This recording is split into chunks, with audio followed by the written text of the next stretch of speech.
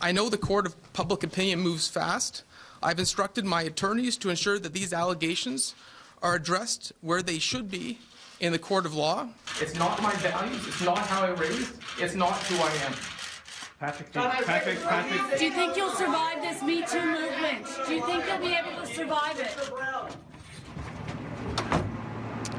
Patrick Brown got one thing right. The court of a public opinion does move quickly, perhaps even faster when politics are involved. I'm Adrian Ghobrial. Now, most, if not everyone, agree that it's important that these women's voices are heard, that they are taken seriously. Though it's also important to note that tonight these are just allegations, claims with no criminal charges attached to them.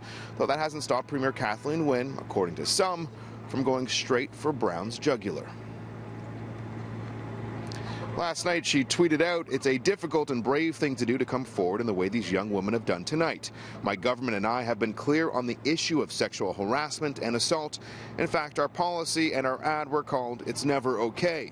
It's important to note, Brown hasn't been charged with sexual assault, as the tweet alludes to. Her official stance has caught the attention of some legal experts, though today at her press conference, Wynne changed her tune ever so slightly.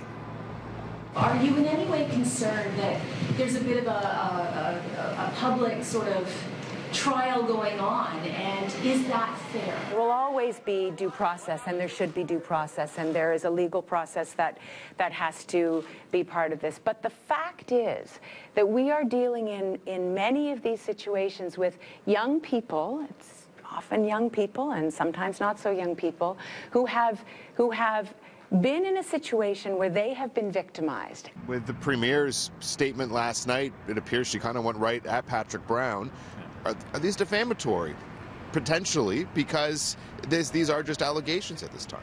It's, I, I would say at this stage it's not until we have a determination as to the veracity of the allegation. But Patrick Brown, like any other individual who's been accused of some type of sexual misconduct, would deserve their day in court or at least an opportunity to test the allegations. People need to be careful what kind of things they throw online, especially colleagues and oh. other politicians. Absolutely. Anything we say online, it stays on the internet and it's there and it can be devastating to people. Asked about Wynne's comments today, the PC party members we spoke with declined to comment. As for NDP provincial leader Andrea Horwath, she says that she stands with these women.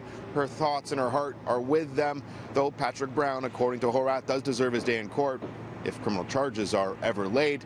But when it comes to her thoughts on our justice system, Horwath didn't hold back today. I really have two words about the justice system, Jian Ghomeshi. Okay, like let's face it, the justice system is failing women. It is. And that's the reality. And that's why lots of women don't come forward, especially when it, it, it uh, relates to workplace issues.